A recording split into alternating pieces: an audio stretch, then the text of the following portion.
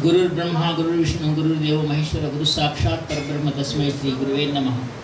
श्रीनाथादि गुरुत्रयं, गणपतिपीठत्रयं, भैरवं सिद्धगुपटुकत्रयं पदेवं गिरिकर्मण्डलं वीरानश्चतुष्णवकं वीरावली पंचकम. श्रीमन्मान्य मंत्रा सहितं वंदे गुरुर्मंडलम मैं गुरुमंडल को नमस्कार करता हुआ परम पुण्य सदगुरुदेव स्वामी निखिलेश्वान जी को, उनके परिवार के साथ नमस्कार करता हुआ आज हम इस, शांता दुर्गा क्षेत्र में गुरु जन्म दिवस मना रहे हैं, बहुत प्रसन्नता का विषय है। लेकिन इसके पीछे कारण क्या होगा कि मैं हैदराबाद से छुटकर गोवा में आकर शिविर कर रहा हूँ, वो भी शांता कभी नहीं। अपने सारे राष्ट्र छोड़कर यहाँ आया हूँ। उसके पीछे एक छोटा सा कारण है।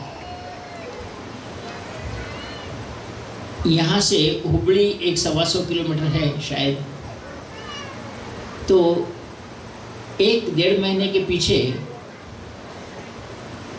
हमारे एक शिष्य है, उनका नाम है डॉक्टर विनायक महेंद्रकर। बहुत दिनों से मेरे साथ रहते हैं। तो उन्होंने कहा कि गुरुजी, मैं अपना निखिल चेतना केंद्र आश्रम के लिए मैं हुबली में आपको ज़मीन देना चाहता हूँ और हम वहाँ निखिल चेतना केंद्र की स्थापना करेंगे। पहले तो टालता रहा, एक वर्ष, डेढ़ वर्ष से, उन्होंने भी कोई समस्याओं में रहे। टालता रहा टालता रहा, फिर भी क्या हुआ कि समस्या ऐसी आ गई कि रजिस्ट्रेशन करना ही है। डेढ़ महीने के पहले मैं हुबली आकर उस ज़मीन को देखकर निखिल चेतना केंद्र नाम, के नाम से वो और उनकी पत्नी ने रजिस्ट्री कर दी, निखिल चेतना केंद्र की स्थापना कर दी। अब मैं बोला कि इतनी दूर से, हैदराबाद से, ये छोटे से हुबड़ी जैसे हुबड़ी जैसे प्लेस में निखिल चेतना केंद्र को ज़मीन मिलती है, इसके पीछे गुरुजी का क्या कारण होगा? गुरुजी ने गुरुजी की इच्छा क्या होगी कि यहाँ आकर मुझे निखिल चेतना केंद्र हैदराबाद के लिए ज़मीन देकर गुरुजी करवा रहे हैं। तो हम जब हुबड़ी से वो जो जहाँ ज़मीन दी गई, वहाँ से आ रहे थे, वो भी बहुत हाईवे पे कलकत्ता जाने वाले रोड पर ही वो ज़मीन है। तो उसने उसकी, उसका डेवलपमेंट बताया और गुरुजी कहा, मेरी बहुत इच्छा है कि वहाँ करवाना है। तो हम बात करके उनके कार में आ रहे थे। एक रेलवे ट्रैक है हुबड़ी से, उसके बाद अपनी ज़मीन आती। वहाँ से बहुत सारे मठ और धर्मशालाएँ भी है, बहुत बड़े बड़े संतों के हैं, वहीं इसने ज़मीन ली। तो आते आते उसने कहा गुरु जी एक बात बताता हूँ आप को वह आपको तो पता ही होगा। मैं बोला, क्या? नहीं, एक बात बताता हूँ। बोलो, क्या है? तो उसने कहा गुरु जी यहाँ विशुद्धानंद जी का आश्रम है। मैं पहले तो कहा विशुद्धानंद जी का आश्रम यहाँ क्या है? बस गुरु जी हम जो रास्ते में आ रहे हैं, वहाँ नंदनवन नाम का विशुद्धानंद जी का शिष्य एक अघोरी था। जो कर्नाटक, जो विशुद्धानंद जी की बहुत सेवा करता था, और विशुद्धानंद जी यहाँ आके इस नंदनवन में स्थापना करके गए। से वहाँ उस नंदनवन से अब जो ज़मीन लिया हूँ, वो हार्डली आधा किलोमीटर होगी, आधा ही किलोमीटर। अगर विशुद्धानंद जी हुबड़ी में आते हैं और निखिल चेतना केंद्र यहाँ स्थापन हुए तो उसके पीछे कोई ना कोई कारण होगा? मुझे तब विचार में पड़ गया कि यहाँ स्थापन करने में कोई ना कोई पीछे गुरु जी का कोई कोई इच्छा होगी। फिर मैंने उसने कहा कि ये नंदनवन के बारे में क्या है? तो कहा गुरु जी ये यहाँ का, यहाँ जो गुरु विशुद्धानंद जी का शिष्य था, जो वो अघोरी था, और उसने जो ये वन बांधा था, यहाँ आज से कम से कम एक 20-22 वर्ष तक हर कोई रोज़ उसमें जाना, जाता नहीं था। बाद में बहुत लोगों के कहने के बाद हर पूर्णिमा को, अमावस्या को केवल सौ लोगों को ही छोड़ते थे अंदर। वो सूर्य सिद्धांत का गुरु से दीक्षा लेकर सूर्य सिद्धांत प्रणेता था। वहाँ नंदनवन आश्रम है वहाँ सौ लोगों को ही छोड़ती थी जो साधक होते थे, वही लोगों को। मैं बोला, फिर आप क्या? गुरु जी, एक कमाल की बात बोलूँ क्या बोलो? क्या? आप इससे पहले एक साल के पहले आए थे? हाँ आया था ना? तू ही बोला, आया था रजिस्ट्रेशन करने के लिए देखें। गुरु जी, आप जैसा ही आके अब हम इस रास्ते में ज़मीन लगाने के बजाय आज वहाँ 600 लोगों को छोड़ते हैं रोज़। बोला, ये मेरा कोई चमत्कार नहीं है, वो वहाँ बोले होंगे, उन्हें छोड़ते होंगे। नहीं गुरु जी, अब अब आप दूसरी बार आए तो ज़रूर सभी लोगों को फ्री कर देंगे, शायद मैं समझता हूँ। ऐसा उसका कहना था। तो दो बार भी वहाँ से आते या जाते समय दो बार भी उसने कहा, गुरु जी, नंदनवन जाएँगे विशुद्धानंद जी का समय बोला अभी नहीं बाद में जाएँगे। ऐसा कोई रश हो गया और आज तक नहीं गया। शायद मैं अपने शिष्यों से जाऊँगा वहाँ, या कुछ ऐसा हो सकता है तो हो सकता है। जब वो ज़मीन रजिस्टर हो गई, मैं दो मिनट तक कम से कम पाँच छः घंटे बैठा रहा। उसमें उसको बहुत दिक्कतें आई, लोगों ने बहुत तकलीफ़ भी दी। फिर मैं वहाँ खड़े रही कि उस ज़मीन को रजिस्ट्री करवा के बाउंड्री लगा के मैं आया हूँ। तो मैं आपको जब वहाँ बैठा था, पहले तो आपको सबको पता है, मैंने अनाउंस कर दिया था कि इस बार का गुरु जन्म उत्सव मलेशिया में करूँगा। ऐसा मैंने सभी को बोल दिया था।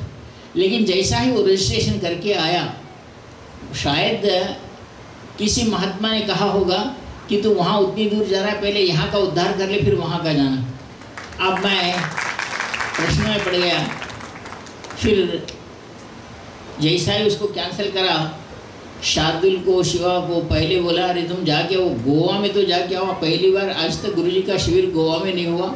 हम गोवा में शिविर करेंगे, जाकर देख के आओ। फिर हमारे अष्टाम मोड़ के राजू, वाक्सर, देशमुख सबसे इसमें, देशमुख और देशमुख की पत्नी का बहुत श्रेय रहा है। जिन्होंने ये जगह चुनी और हमारे मल्लीनाथ जी, जो यहाँ रत्नागिरी के रहने वाले हैं, उन लोगों का बहुत श्रेय रहा जो लोग यहाँ आकर मेहनत करके, कड़ी मेहनत, मैंने उनको एक कहा, शिविर यहाँ करना है तो किसी प्रकार का दिक्कत नहीं होनी चाहिए, ऐसा करो। अब पहले तो आपको पता है, दत्तू भैया थे, उनके ऊपर सब छोटा था। अब शिवा और शार्दुल के सिवा किसी नहीं। वैसे अभी अष्टमोड़ के राजू हो, मल्लीनाथ जी हो, देशमुख हो, वाक्सर हो, ये सब लोग बहुत इसके साथ सामने आए, उन्होंने आके देखा और निर्णय करा कि यहाँ करना है। फिर जब मैं इस शांता दुर्गा के माता के बारे में विचार किया कि फिर माता जी यहाँ शांता दुर्गा का मंदिर में ही शिविर क्यों करना।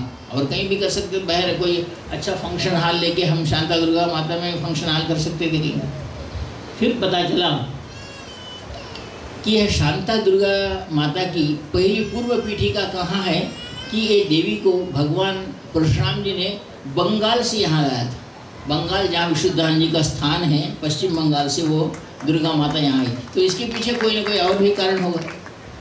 अब ये सारे लिंक इधर उधर जाकर क्या करते हैं, क्या होते हैं कि उन साधना के उस महानुभव विशुद्धानंद से जुड़ते जाते हैं। तो मैंने कहा, ठीक है हम हम शांता दुर्गा माता की के मंदिर में ही साधना संपन्न करेंगे। अब मैं ढूँढने लगा कि हम शांता दुर्गा माता के मंदिर, पहले शांता दुर्गा का माता पूरे भारत में, गुजरात से लेकर हैदराबाद तक शुरू शांता दुर्गा माता, शांता दुर्गा ऐसा नाम नहीं है। बहुत सारी दुर्गाओं का नाम है, कनक दुर्गा है दुर्गा है, सब है। कहीं भी ऐसा नहीं रखा फिर मैंने इसके ऊपर बहुत ग्रंथों को, पुस्तकों को देखा। तो पता चला कि शांता दुर्गा देवी परशुराम जी की आराध्य देवता थे। कहते हैं कि जब परशुराम जी कार्तिवीर अर्जुन के साथ युद्ध कर रहे थे, सभी क्षत्रियों को गया था और उनका अवतार जब समाप्त हुआ, रामचंद्र जी को उन्होंने सब क्षेत्र जो हमने जीता था, वो कश्यप गोत्रीय ब्राह्मणों को यह भूमि दान दे दी तो उनको लगा कि मैं कहाँ रहूँ? फिर उन्होंने अपने परशु से जो स्थान बनाया, वो यह स्थान है, जैसे केरला, आप परशु का केरला को देख सकते हैं पूर्ण परशु का आकार है, जहाँ गोकर्ण गोमंत कहते हैं इसे, इस स्थान को, संस्कृत में। और यह स्थान परशुराम जी ने अपने लिए अपना स्थान बनाया। अपना स्थान बनाने के बाद उन्होंने अपने सारे देवताओं को, जो वह पूजा करते थे, उन देवताओं की स्थापना यहाँ करने लगे। अब यहाँ के शिव जी का नाम मंगेश देवता है। आप जानते हैं, मंगेशकर की फैमिली, वो सब, उसी देवता की आराध्या कहलाए जाते हैं, उनके कुल देवता के रूप में। या यहाँ से रहने वाले कहले जाते हैं, मंगेश ये महादेव जी हैं। और यहाँ शांता दुर्गा है, विजया दुर्गा है और नरसिंह स्वामी और बहुत सारे देवता हैं हम हमने आते हुए, आते समय देखा कि वेतालेश्वर का मंदिर है। तो मैंने अभी यहाँ के महाराज पुजारी से पूछा, वेतालेश्वर का मंदिर यहाँ कैसे क्या आया तो उन्होंने कहा कि ये वो यहाँ के क्षेत्रपाल हैं। हुआ ये कि हम यहाँ आने से पहले, मैंने पहले ये विचार किया कि शांता दुर्गा के बारे में तो हम बाद में देखेंगे, पहले विजय दुर्गा यहाँ स्थापना हुई, वो कैसे?